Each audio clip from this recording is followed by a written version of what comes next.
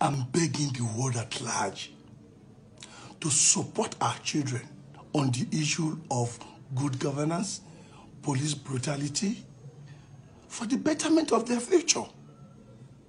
After all, they are the future and the leaders of tomorrow.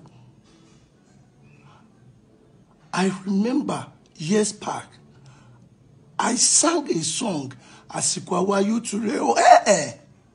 That was then àsìkò àwọn youth rẹ o kàyé bínú wọn for sure ni young shall grow though old shall not die o.